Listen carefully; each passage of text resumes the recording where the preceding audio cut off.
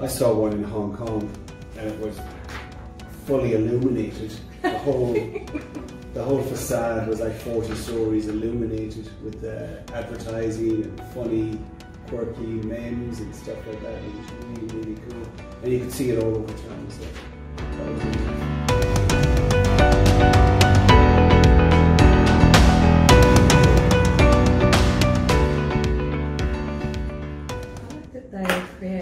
diversity within the skyline. Oh yeah. Yeah. Right.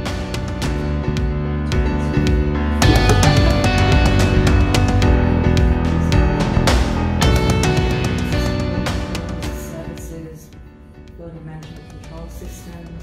It's funny. I thought. And it's almost like I feel like writing. yeah, yeah, yeah, everything else in between.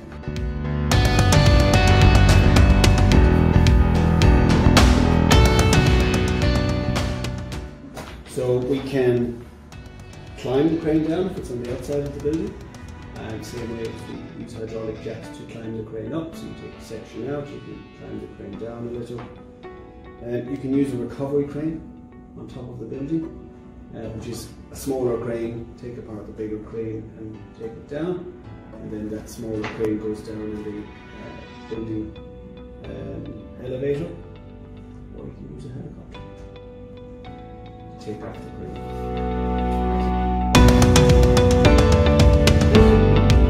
Twisty buildings. Stock proportion and size being. So they can build them tall and narrow, and the wind is higher at the top, so it's less on the top. You can put a hole in the building, which I think one in Shanghai is that way.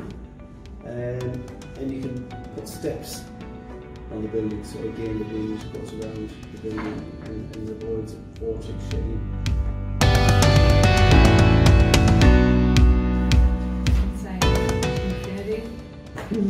So that always getting taller, sky's the limit, that's the intent. Excellent. Um, I've gone for greener, that's our carbon footprint.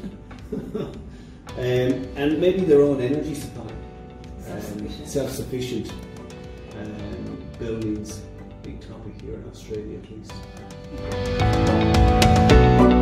Helicopter? Really? In extreme or Yeah. very poor access, can't do one of the other two. Yeah, that's good. I want to see that. Mhm. I want to see that happen. yeah. Need a big helicopter.